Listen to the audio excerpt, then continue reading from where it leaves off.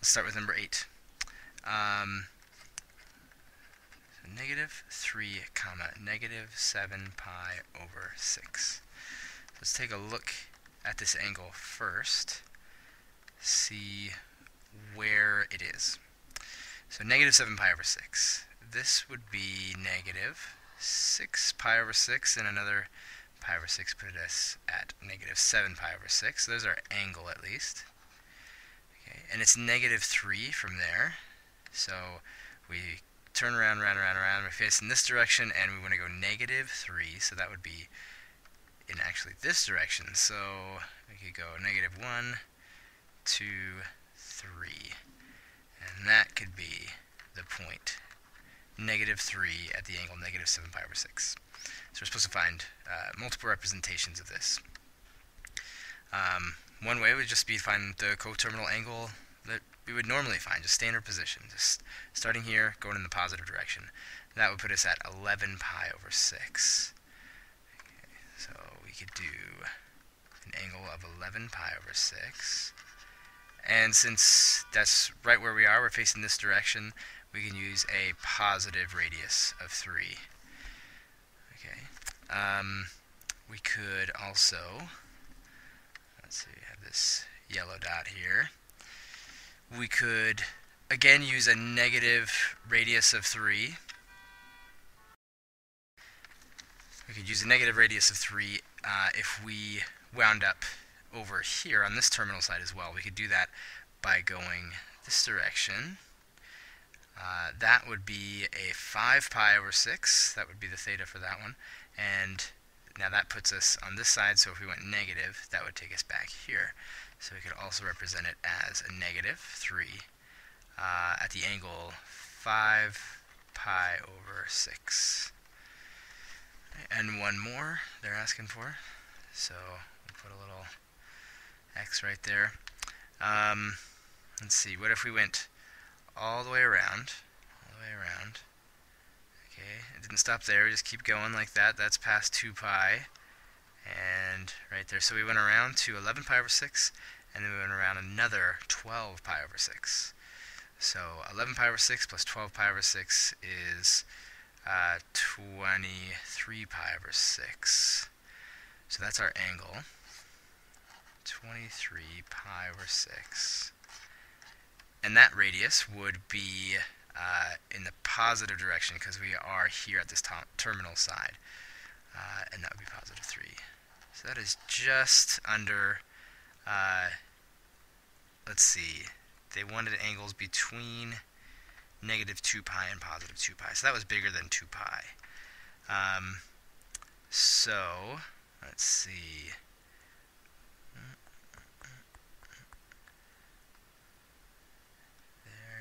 So we could do this instead. Let's not go all the way around like that. Let's just go from here down to there.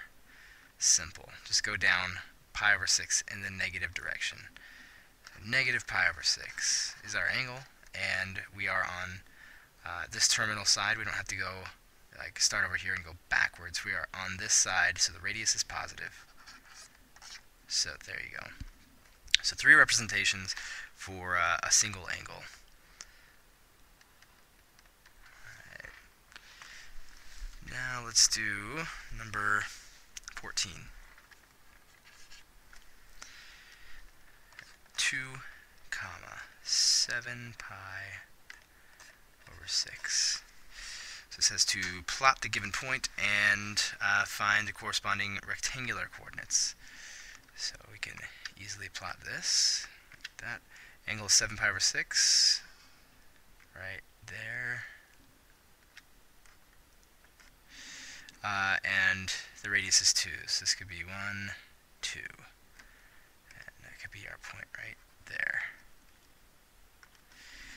so we want to find the rectangular coordinates. Uh, if you remember from the, uh, the intro video, the x value can be found by r times the cosine of whatever angle, and then the y value could be r times the sine of whatever the angle is. So we take the radius and we just multiply it by the cosine of the, the angle that we're at. So r is 2, times the cosine of what angle? 7 pi over 6.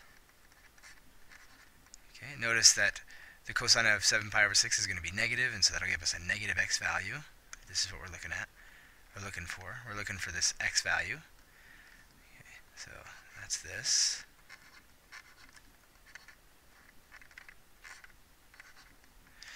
Uh, and then we'll be looking for this y value, which we'll get by 2 times the sine of 7 pi over 6. So 2 times the uh, cosine of 7 pi over 6, 7 pi over 6, the cosine of 7 pi over 6 is negative root 3 over 2. And the next would be 2 times the cosine, or 2 times the sine of 7 pi over 6. The, the sine of 7 pi over 6 is negative 1 half. So now we just simplify as much as possible cancel out these two, so we get negative root 3. Y value would be 2 times negative 1 half, so it would be negative 1. So if we were to move uh, left the square root of 3 and down 1, we would be at the same position. On that terminal side, a distance of 3 from the radius. And that does it for 14. Um, we'll do a similar thing for number 23. The only difference is it's not a, a sine or cosine that we're familiar with. It's just uh, kind of a random angle. So negative 4.5, that's our radius. Uh, 1.3, it's a good exercise in remembering what radians are though. We'll plot this on a polar coordinate system. Angle of 1.3 radians. Okay, so um, Remember that this is not 1 radian. This is pi radians. That's 3.14 radians. So about a third of the way there, a third of the way to 3.14 is about 1. Uh, 1.3 is a little bit bigger. Um, how far would this be? You know, how far would halfway be? Uh, let's see. We could just turn this guy on, and I can uh, make this a little smaller for you. So pi divided by 2 is 1.57, so it's not too far off of pi over 2. So we'll just go like that, 1.3, that's about how big that is. And we'll go negative 4.5, that means that we're going to actually go down in this direction. Alright, so negative 4.5, 1, 2, three, four, five. 4.5 would be right there. So there is uh, that point in the polar coordinate system, and we are going to be looking for the x value and the y value. So a little more quickly this time, we know that this is going to be the radius, negative 4.5. Uh, c times the um, the cosine of the angle, cosine of 1.3. Okay, so we're going to get the cosine of 1.3, we're going to multiply it by the uh, radius, so that's going to give us a negative value. Okay. Uh, so that'll put us in the, well, on the left side. And then when we look at the y value, that's negative 4.5 times the sine of uh, 1.3 radians. And that'll be a positive value, the sine of 1.3, right, in this first quadrant, times negative 4.5 will give us a negative y. So we'll have a negative x and a negative y. So the way that we actually calculate this is to grab the calculator and just calculate. Uh, so negative 4.5 times the cosine of 1.3. Just going to get some decimal approximation. We'll make sure we're in radian mode, which we are. And hit enter, we get negative 1.204.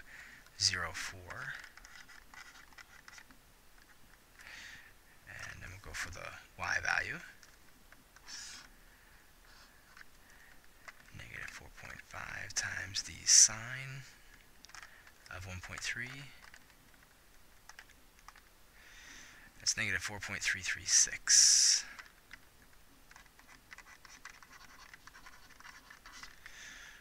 if we move to the left 1.204 and down 4.336, we'll be at the same place as if we uh, went to an angle of 1.3 radians and went in the opposite direction, a distance of 4.5. Okay, that's that should do it for that one, for those kinds of problems. Let's move over here.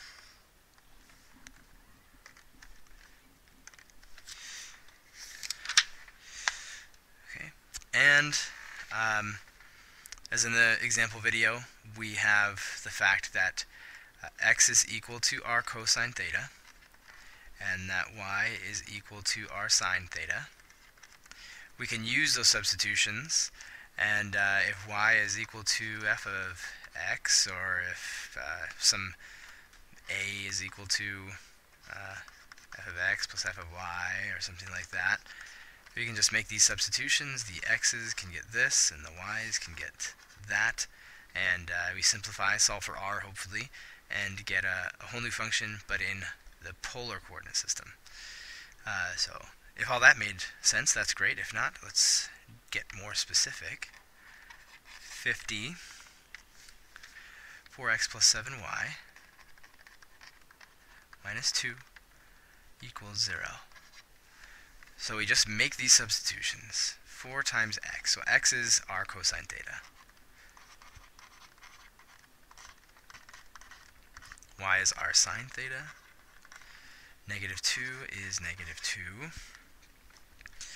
Um, this is just 4 times r times cosine theta.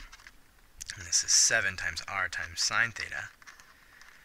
And uh, when we add 2 to both sides, because uh, that doesn't have anything to do with r, we want to solve for r, get it by itself. So we got all the r terms by themselves. We could factor out an r, get 4 cosine theta plus 7 sine theta equals 2. r is equal to 2 divided by 4 cosine theta plus 7 sine theta.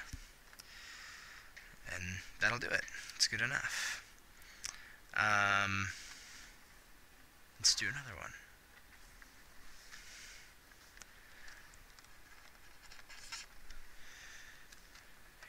x squared plus y squared squared equals 9 times x squared minus y squared.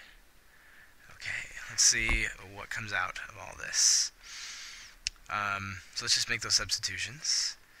That's going to give us r cosine theta squared plus r sine theta squared squared equals 9 times uh, r cosine theta squared minus r sine theta squared. So I'd like to solve for r, and we'll see if we can make that happen. Um, let's see this will be r squared cosine. If you'll notice, this is very similar to the intro video. I did something like this, at least this part of it. Uh, I'm just going to keep working with this. We got r squared um, times cosine squared theta plus sine squared theta. Let's see, of course, this is squared. So this whole thing is still squared from the original. Um, and now this is 1, so this is just r squared. r squared times 1 is r squared. Squared, so r to the fourth. Alright, so that's the left side. Let's work on the right side. Let's maybe something similar will happen if we uh, put, you know, square each of these things. r squared cosine squared theta minus r squared sine squared theta. Um, let's see, we have, we can factor an r squared out of all this. r squared cosine squared theta minus r squared, or not r squared, uh, sine squared theta. Let's see.